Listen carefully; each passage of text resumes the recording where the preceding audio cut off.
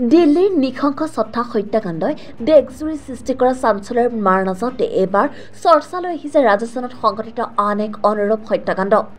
এই ঘটনা সংঘটিত হৈছে জয়পুৰৰ বিদ্যানগৰ অঞ্চলৰ লালুপুৰীয়া এপাৰ্টমেণ্ট ছেক্টৰ দুইত। অভিযোগ অনুসৰি অনুজ শৰ্মা নামৰ এজন ল'ৰাই নিজৰ খুৰীয়েক সৰোজ শৰ্মাৰ মূৰত হাতুৰিৰে আঘাত কৰি হত্যা কৰে। তাৰ পিছত তেওঁৰ নিজৰ বাথৰুমত মাৰ্বল কাটাৰ মেচিন ব্যৱহাৰ কৰি মৃতদেহটো দহ টকাত বিভক্ত কৰি জংঘলত পেলাই দিয়ে। ইয়াৰ পিছত তেওঁ নিজেই থানাত উপস্থিত হৈ সন্দেহৰ আওতাৰৰ পৰা ৰক্ষা পাবলৈ খুৰীয়েক নিৰুদ্দেশ বুলি ৰিপৰ্ট দাখিল কৰে। কিন্তু পাকঘৰত লাগি থকা তেজৰ দাগ ধুই থকা অৱস্থাত অনুজক ধৰা পেলাই মৃত মহিলাগৰাকীৰ কন্যাই। অনুজক এনে অৱস্থাত দেখি তেওঁ অনুজৰ বিৰুদ্ধে গোচৰ ৰুজু কৰে। যুৱতীগৰাকীৰ এই অভিযোগৰ ভিত্তিত আৰক্ষীয়ে অনুজক জিম্মাত লয়।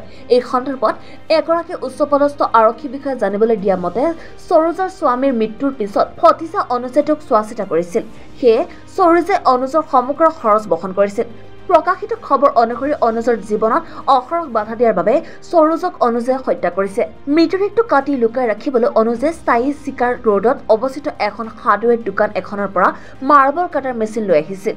ইয়াৰ পিছত মৃতদেহটো দহ টুকুৰা কৰি কাটি চুটকেছ আৰু বাল্টি এটাত ভৰাই জংঘলৰ বিভিন্ন ঠাইত দলিয়াই দিয়ে বুলি আৰক্ষীয়ে বিষয়াগৰাকীক জানিবলৈ দিয়ে। হত্যাকাণ্ডত ব্যৱহৃত অস্ত্ৰ শস্ত্ৰ আৰু অন্যান্য সামগ্ৰীও আৰক্ষীয়ে উদ্ধাৰ কৰিছে বুলি জানিব পৰা গৈছে।